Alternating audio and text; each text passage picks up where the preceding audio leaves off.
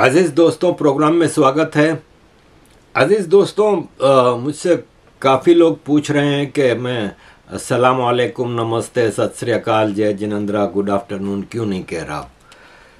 तो भाई, मसला ये है कि वो फरमाइशें बढ़ती जा रही हैं।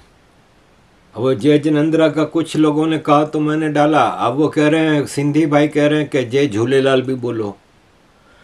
और कुछ दोस्त कह रहे हैं जय श्री राम भी बोलो। कुछ कह रहे हैं जो जय श्री कृष्णा भी बोलो। कुछ कह रहे हैं हर हर महादेव भी बोलो। अब बेहतर यही है कि फिर कुछ भी ना बोलो ठीक है ना? तो इसलिए मैं आ, सीधा सीधा डायरेक्ट मुद्दे पे आ जाता हूँ। अज़ीज़ दोस्तों इस्लामाबाद हाई कोर्ट के छः जजेस ने सुप्रीम कौंसल को जो जजेस की जो सुप्रीम कौंसल होती है सुप्रीम कोर्ट में उसको लेटर लिखा है, ओपन लेटर। और उन्होंने कहा है कि हमें बताया जाए कि हम क्या करें, इसलिए कि हमारे काम में बहुत ज़्यादा अड़चन डाली जाती है। और पाकिस्तान की सरकार एक्चुअल सरकार, यानी आर्मी और उसकी इंटेलिजेंस एजेंसीज यानी आईएसआई हम लोगों के काम में इतने ज़्यादा मामला में मुदाखलत करती है इंटरफेरेंस करती है कि हम अब समझ नहीं आती कि कहाँ जाएँ। अब उस पर डिटेल में जाने से पहले मैं, मेरे पास वो वीडियो में ढूंढता रहा, मिली नहीं मुझे। एक जस्टिस सिद्दीकी थे। उन्होंने आज से कुछ साल पहले एक स्पीच की थी एक प्रोग्राम में। उसमें उन्होंने कहा था कि हमारे अदालतों के जो मुख्तलिफ़ जजेस हैं ना, उनके लिए आईएसआई ने व्हाट्सएप ग्रुप बना के रखे हैं। और उनको, उन ग्रुप्स में उन जजेस को इंस्ट्रक्शंस दी जाती हैं मुख्तलिफ़ केसेस के लिए कि आपने क्या फ़ैसले करने और क्या नहीं।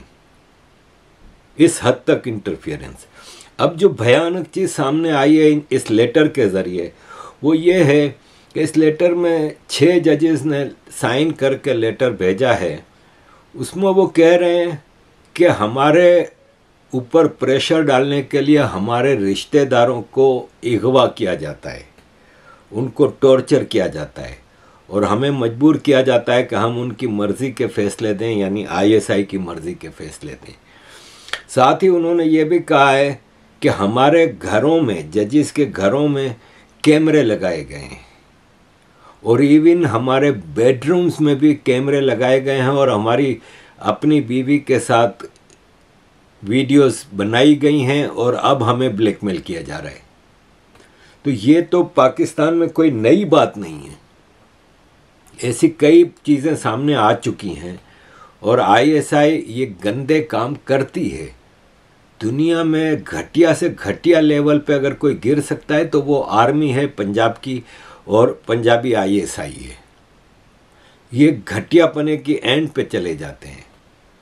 और पहले भी कई पॉलिटिशियंस को, कई, अब आपको याद होगा, आज़म स्वाति था, इमरान खान का एक मिनिस्टर।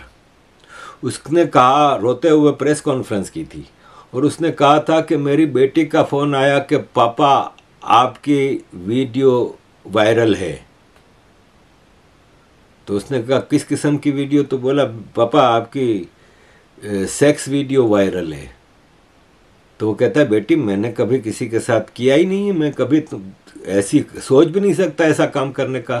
तो उसकी बेटी कहती है पापा आपकी वीडियो आ, मामा के साथ यानी आपकी अपनी बीवी के साथ वो वीडियो वायरल है।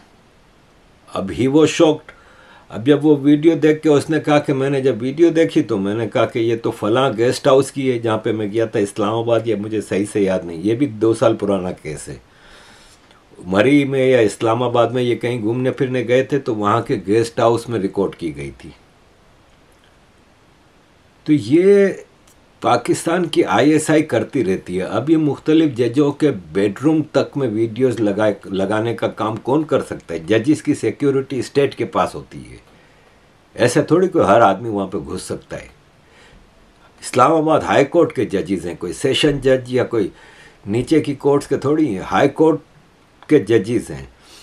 ऑफिशियल रेसिडेंस दी जाती है। उनके ऊपर सिक्योरिटी होती है, बाकायदा आजकल को जो पाकिस्तान के हालात हैं, उसके हिसाब से तो रेंजर्स और पता नहीं कौन कौन पुलिस पुलिस और सब ये सिक्योरिटी करते होंगे तो अंदर कैमरा बेडरूम में जाके कौन लगा सकता है?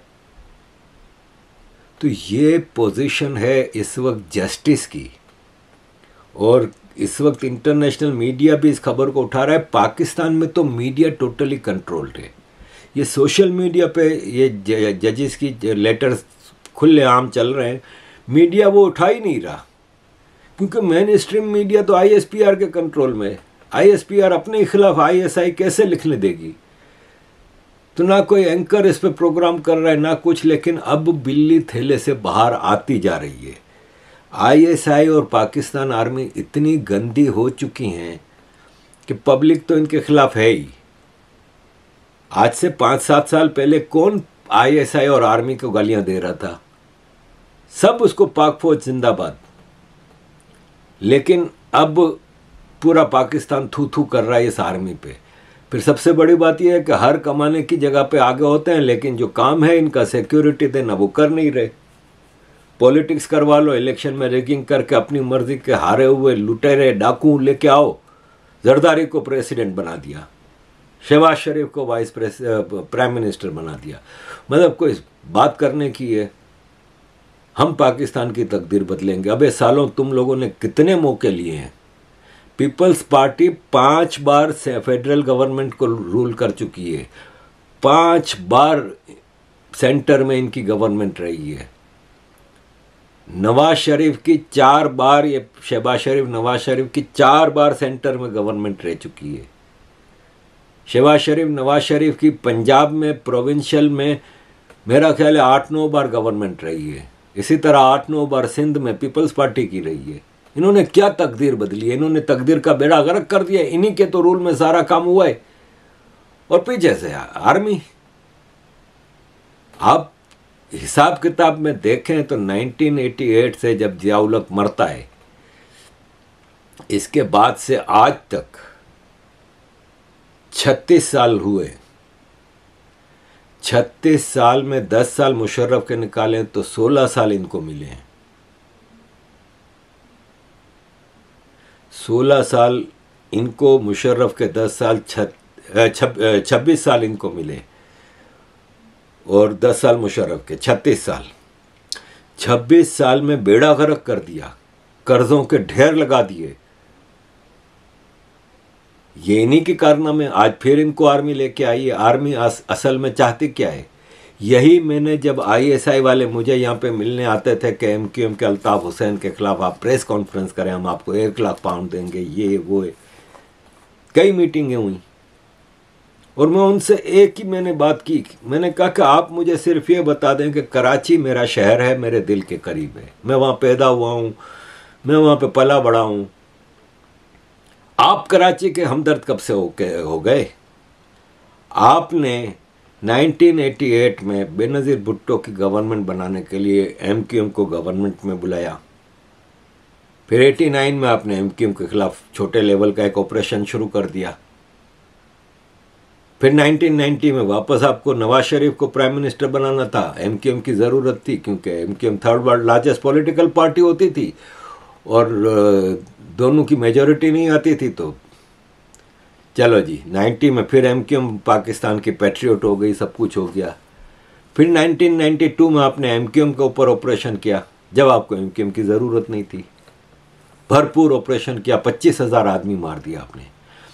फिर 1993 में बेनज़ीर भुट्टो की वो नवाज़ शरीफ की सरकार ख़त्म की आपने। अब आपको बेनज़ीर भुट्टो को लाना था। फिर M Q M Benazir Bhutto के साथ फारूक लगारी, जो कि पीपल्स पार्टी का प्रेसिडेंशियल कैंडिडेट था, उसको एम से वोट दिलवाए। फिर एम सही रही। फिर 93 में एंड पे बेनज़ीर भुट्टो ने ऑपरेशन शुरू कर दिया, जब फारूक लगारी प्रेसिडेंट इलेक्ट हो गया, सब कुछ हो गया। 96 तक फिर आपका ऑपरेशन चलता रहा। 96 में बेनज़ीर भुट्टो की गवर्नर गवर्नमेंट गिराई। फिर नवाज़ शरीफ को लाना था फिर आप एम को सरकार में लेके आते हो। उसी एम को, जिसके ऊपर आपने कहा कि रॉ एजेंट है और टेररिस्ट है और फलान और ढुमकान, आपने पच्चीस हज़ार बंदे मार दिए कराची में। फिर 96 में नवाज़ शरीफ की हुकूमत बन गई, सब कुछ ठीक हो गया, नवाज़ शरीफ का प्रेसिडेंट इलेक्ट हो गया, ताड़ड़। अब आपको ज़रूरत नहीं थी, आपने फिर एम पे ऑपरेशन शुरू किया, हकीम सईद को मार के। फिर नवाज़ शरीफ को हटाया गया मुशर्रफ आया। अब मुशर्रफ आया तो मुशर्रफ को तो ना बेनज़ीर सपोर्ट कर रही थी ना नवाज़ शरीफ, ज़ाहिर फिर एम क्यू एम की ज़रूरत पड़ी। फिर दस साल आपने एम क्यू एम को मज़े से पूरी पावर दे के सरकारें कराई। फिर आप ऑपरेशन किया। अब 2016 में आप आके मुझे कह रहे हो कि भाई, अब एम क्यू एम गद्दार है, तुम प्रेस कॉन्फ्रेंस करो कि रो से पैसे लेते थे और मैं इंटरनेशनल काम देखता था, ये वो। तो मैंने कहा कि आप मुझे बताएँ कि आप इस कराची शहर के सबसे ज़्यादा हमदर्द कैसे हो सकते हैं? अगर एम क्यू एम खराब है, गद्दार है, रॉ एजेंट है, फलान है, ढुमकान है तो एक ही बार में ख़त्म फिर। आप हर बार इसको जब ज़रूरत होती है लाते हो फिर। अब जैसे आपने देखा, अल्ताफ़ हुसैन को निकाल के बाकी जितने मेले चमेले थे, उनको एम क्यू एम को सरकार ने उन कर लिया। भाई सपोज़ एम क्यू एम के टेररिस्ट थे इंडिया ट्रेनिंग लेने जाते थे या अफ़गानिस्तान जाते थे या एक्स वाई जेड कहीं भी जाते थे। ट्रेनिंग लेके आते थे ना कराची अगर, इनके बयान के मुताबिक आईएसआई के बयान के मुताबिक। कौन उनको हैंडल करता था? अल्ताफ हुसैन तो लंदन में बैठे थे ना। यही लोग थे ना जो आज एम क्यू एम सरकारी एम क्यू एम में बैठे हुए हैं। यही लोग रिसीव करने जाते थे। बकौल, इन्हीं के ऊपर केसेस भी बने थे। आज ये सब सरकार में बैठे हुए मज़े से लूट रहे हैं। एक अल्ताफ हुसैन गद्दार है, बाकी ये सब दूध के धुले हैं। उस पर मेरा उनका झगड़ा हुआ फिर आईएसआई वालों से। यही लंदन की, सेंट्रल लंदन की सड़क पे, फिर मैंने उनको खूब सुनाई। फिर वो चले गए, इसके बाद कभी मुलाकात नहीं हुई, कभी कांटेक्ट नहीं हुआ। सिर्फ़ जब मेरे भांजे को उठा कर ले गए थे, आज से तीन चार साल पहले। मैंने आपको कई बार बताया कि मेरे करीबी रिश्तेदार तो मेरी बड़ी बहन के बेटे को उठा के ले गए थे। मुझे अखबार से पता चला कि कराची से रॉ एजेंट गिरफ़्तार। तब मुझे इस्लामाबाद के नंबर से व्हाट्सएप पे फ़ोन आया था कि आपका भांजा हमारे पास है। तो मैंने कहा, भांजा मेरा है, बंदा आपका है। पाक फौज जिंदाबाद वाला है वो। मेरे से ना कांटेक्ट में, ना कुछ है। आप तो इतनी बड़ी एजेंसी हो। बोला, नहीं, मैं आईएसआई का नहीं हूँ, मैं तो वकील हूँ। सरकार का वकील हूँ। तो मैंने कहा, यार, अब सरकार मीन्स आई ना? खैर तो ये है इनकी स्टोरी तो अज़ीज़ दोस्तों, पाकिस्तान की जस्टिस सिस्टम पे एक ज़बरदस्त हमला हुआ है। और मतलब बता नहीं सकता कि इसके क्या असरात होंगे, क्योंकि अब इंटरनेशनल जो काउंसिल ऑफ़ ज्यूरिस्ट है इंटरनेशनल काउंसिल ऑफ़ जजेस है यूनाइटेड नेशंस का जो रापोर्टर ऑन जस्टिस है राइट टू जस्टिस है, इस तरह देखते हैं। हम देखते हैं American state department Arvind Kejriwal के, उसके ऊपर तो फ़ौरन आ जाता है, जर्मनी तो फ़ौरन आ जाता है। अब ज़रा कोई आए ना, अपने बचुंगड़ा पाकिस्तान की हरकतों पे कोई आके बताए ना कि भाई क्या हो रहा है ये। इस हद तक, इस हद तक जब एक high court, Islamabad high court का जज महफूज नहीं अपने बेडरूम में तो हम पाकिस्तानी की क्या हालत होगी? ये नपुंसक लोग हैं। आप ये देखें, मुझे हैरत हुई जब मैंने ये देखा कि इमरजेंसी मीटिंग बुलाई गई, जिसमें शबाज शरीफ, आसिम मुनीर, सारे मिनिस्टर सारे आईएसआई एमआई आईएसपीआर जनरल्स सारे मिनिस्टर सब बड़ी मीटिंग इमरजेंसी क्या इमरजेंसी है? पाँच चाइनीज़ मर कैसे गए? उसकी इंक्वायरी होनी चाहिए। उस पर डिस्कशन करना है कि पाँच चाइनीज़ की ज़िंदगी ज़ाया कैसे हुई? अब हराम खोरों, हज़ारों पाकिस्तानी मर रहे हैं हर महीने। ये पिछले एक महीने में कोई आठवां या नौवां बड़ा अटैक है। कभी पाकिस्तानी के मरने पे तो कोई इमरजेंसी मीटिंग नहीं बुलाई? पाकिस्तानी की जान की कोई औकात ही नहीं है। पाँच चाइनीज़ मर गए, चाइना का डंडा चला है तो अब चाइनीज़ कैसे मर गए? इस पर इंक्वायरी होगी। और जिन्होंने किया है, उनको हम सख्त सबक सिखाएँगे। हम आखिर वक्त तक दहशत गर्दी से लड़ेंगे। बड़ी बड़ी बातें कर ली। तुम लोग सारा अफ़गानिस्तान से या भारत से क्या जंग करोगे? तुम लोगों को घर में घुस के मार रहे हैं ये तुम्हारे अपने पैदा किए हुए मिलिटेंट्स। वो मिलिटेंट्स जो तुम कश्मीर के लिए पैदा कर रहे थे, वो मिलिटेंट्स जो तुम अफ़गानिस्तान के लिए पैदा कर रहे थे, ये साले सारे पाकिस्तानी हैं। चाहे वो बलोचिस्तान के हों, चाहे वो टीटीपी के हों, चाहे वो आईएसआईएस खुरा, खुरासा, दाइश खुरासान के हों। देखें, आईएसआईएस, दाइश खुरासान का सारा मुद्दा जो रशिया पे अटैक हुआ है, उसका पाकिस्तान कह रहा है, अफ़गानिस्तान से हुए हैं। वो भाई साहब, अफ़गानिस्तान की सरकार के स्टेटमेंट रिकॉर्ड पे मौजूद हैं। पिछले दो सालों से वो कह रहे हैं मुसलसल, पाकिस्तान से कि तुम ये दाइश खुरासान की सपोर्ट बंद करो। तुमने ये दाइश खुरासान हमारे मुल्क में छोड़े हुए हैं। अफ़गानिस्तान में जो हमारे मुल्क में धमाके करवा रहे हैं।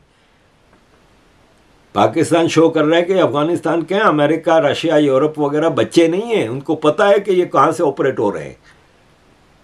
तो पाकिस्तान का सत्यानाश तो अब ऐसा होगा। ये चाइना के बंदे मार के चाइना को तो गुस्सा दिला दिया है। अब चाइना के जो प्रोजेक्ट्स चला रहा है चाइना, उनको चलाने के लिए सिक्योरिटी का खर्चा कितना बढ़ेगा अब आप ये देखो। और ये आइसोलेटेड अटैक नहीं होगा। बलूचिस्तान में Majeed brigade Balochistan liberation army का एक्टिव है इस वक्त। नेवल हेडक्वार्टर तुरबत पे हमले कर चुका है तीन। इतने बड़े। जब ये आर्मी की चौकियों पे जाके हमले कर रहे हैं तो इन चाइनीस इंजीनियर्स की अब हिम्मत कैसे होगी कि ये आगे आके काम करेंगे? पाकिस्तान कह रहा है, इसमें थर्ड पार्टी इन्वॉल्व है और हम जानते हैं कौन है। इनके जहन में ज़ाहिर है, राह है, राह राह साजिश है, लेकिन असल में पाकिस्तान को भी पता है। कि डोनेल लू ने assistant secretary of state congress hearing में साफ़ कहा था कि हमें चाइना के साथ सीपेक प्रोजेक्ट और ईरान गैस की लाइन पाइपलाइन हमें कबूल नहीं है, हम ये नहीं होने देंगे। तो फिर दो और दो चार जमा कर लो, कौन करवा रहा है, ये अच्छी तरह समझ में आ रहा है। तो अज़ीज़ दोस्तों, ये है सिचुएशन गैस पाइपलाइन की भी बात निकली है। तो कल यूएस स्टेट डिपार्टमेंट की जो रेगुलर ब्रीफिंग होती है, उसमें वॉइस ऑफ़ अमेरिका ने सवाल किया कि आप पाकिस्तान गे, पाकिस्तान ने कहा है कि वो पाकिस्तान ईरान गैस पाइपलाइन के लिए अमेरिका से इजाज़त मांगेगा कि वो उसको ये करने की इजाज़त दे तो आप उस पर क्या कहेंगे? तो मैथ्यू मिलर जो कि स्टेट डिपार्टमेंट के स्पोक्स पर्सन हैं, उन्होंने कहा कि हम कभी भी इजाज़त नहीं देंगे। हम पाकिस्तान को साफ़ अल्फाज में बता रहे हैं कि अगर ये गैस पाइपलाइन का प्रोजेक्ट ओवर नहीं किया, ख़त्म नहीं किया तो पाकिस्तान के ऊपर सैंक्शंस लग सकती हैं, क्योंकि ईरान के साथ ट्रेडिंग पे पाबंदी है और अगर ईरान के साथ ट्रेडिंग की और गैस की पाइपलाइन को आगे बढ़ाया तो हम पाकिस्तान पे सैंक्शंस लगा देंगे। ये हम खुले अल्फाज में पाकिस्तान को बता रहे हैं उन्होंने कहा कि हमने पाकिस्तान में तकरीबन चार हज़ार मेगावाट की क्लीन एनर्जी प्रोडक्शन के ऊपर काम किया है। हम ग्रीन अलायंस के ज़रिए क्लाइमेट चैलेंजेस से निपटने के लिए मिलकर काम कर रहे हैं। पाकिस्तान के पानी के इंतज़ाम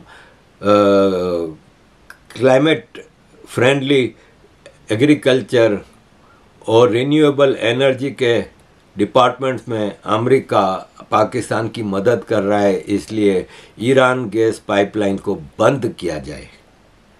अब मसला यह है कि ईरान तो इंटरनेशनल ट्रिब्यूनल में जाएगा आर्बिट्रेरी ट्रिब्यूनल में जाएगा कि हमने तो अपने हिस्से की पाइपलाइन बना ली बॉर्डर तक।